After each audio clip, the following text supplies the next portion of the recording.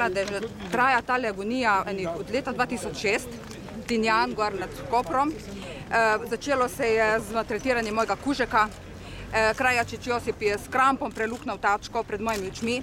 Ko sem jaz javila to na policijo, so si zapirali oči oziroma so se vrnili proti meni, da se mi bojo maščevali. In to maščevanje je pripeljalo tako daleč, da mi danes hočejo tudi meni parcelo vzeti. Kako? Motenje posesti javim, na obravnavo me ne pokličajo, kot da ne obstajam, spijelajo mimo mene vse postopke, jaz pa sam dobim izvržbo in zdaj za 19 evrov 44 centov dobim še kao, da mi bojo rubli parcelo. Tako.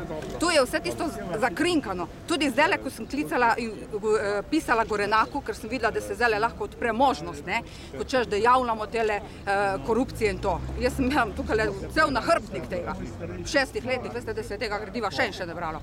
In ko sem jaz pisala, In sem danes dobila odgovor, ko ga imam tukaj le sabo, sem ga sprintala, mi piše, da če sumim oziroma da so kazniva dejanja strani policije, ne potem to uh, javim policiji, ki bo ona rešila. Ja, kaj bo ona sama s sabo rešvala? In ta krok se vrti in vrti in vrti in vedno smo na istem mestu. Nič se ne reši, nič.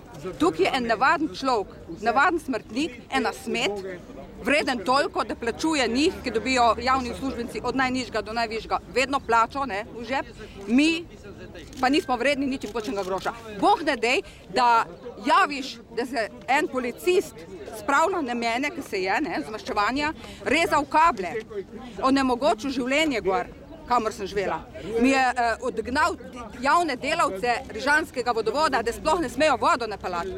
In kazal tam ljudem, tu je cveto kokal, javno povem, in kazal ljudem svojo vizitko. Seveda so se umrknili, nočem imeti problemov z njim. Jih imam pa jaz zdaj za to. Še kaj? In ko vse to prešlo,